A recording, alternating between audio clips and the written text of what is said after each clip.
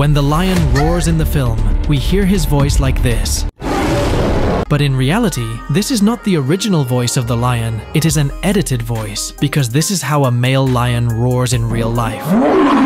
Next, when an eagle is shown in a movie, we hear such a sound like this, so that we feel that the eagle is very powerful, but in reality, when the eagle opens its mouth, sounds like this come out.